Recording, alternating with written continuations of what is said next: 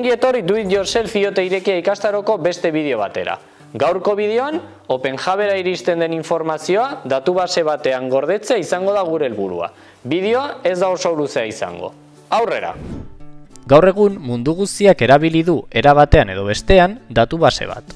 MySQL, Microsoft SQL Server edo Oracle dira ezagunenak, baina oso arrunta da ere Excel erabiltzea datuak gordetzeko, naiz eta hori ez den bere zeregin nagusia.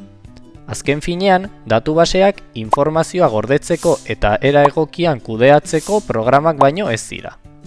Informazioa lortzeko query galdera izeneko aginduak erabiltzen dira eta query hauek une bakoitzean interesatzen zaigun informazioa lortzea albidetzen dute.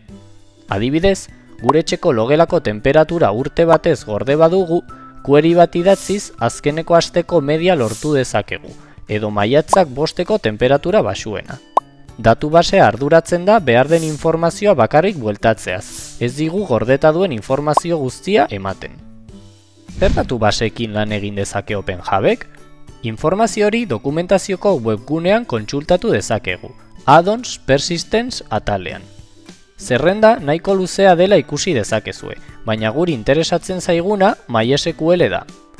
Norbaitek bere kabuz zerbait desberdina probatu nahi badu, InfluxDBri begirada bat botatzea gomendatzen dizuegu. Hau ikusita, goazen zuzenean OpenHub konfiguratzea MySQLerekin lan egiteko. Prozesu guztia errazteko eta erroreak murrizteko script txiki bat sortu dugu teknikan.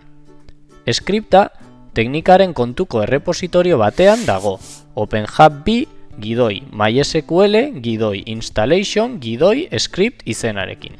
Hauxe. Errepositorioan bi fitxategi daude bakarrik, readmea, azalpenekin eta install.sh skripta. Programa erabiltzeko pausoak hemen bertan irakurri daitezke, baina hauek burutzeko Raspberry Pian sartu behar gara SSH bitartez. Dagoeneko ez daukazue arazorik SSH konexioa gauzatzeko, baina gogoratu erabiltzailea eta pasaitza OpenJabian eta OpenJabian direla.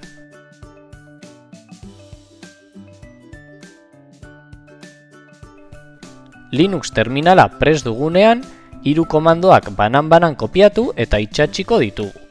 Lehenengoa,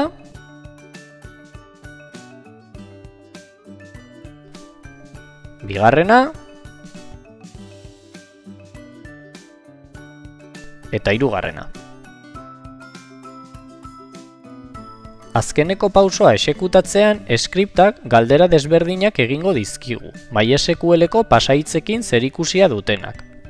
Nahi dituzuen pasaitzak aukeratu, baina zuzenean intro botoia sakatu ezkero, defektuzko balioak aukeratuko dira. Itxaron prozesua amaitu arte eta... Kito, ez dugu ezer gehiago egin behar. Hemendik aurrera edozein itemi balio berri bat iristen zaion bakoitzean, itemaren egoera datu basean gordeko da. Datu hauei esker grafikoak egiteko gai izango gara, baina hori aurrerago ikusiko dugu. Ba hau izan da dena, azkeneko bideoak baina motzagoa, ezta? Eskripta esekutatzeko garaian arazoak izan badituzue, galdetu beldurri gabe.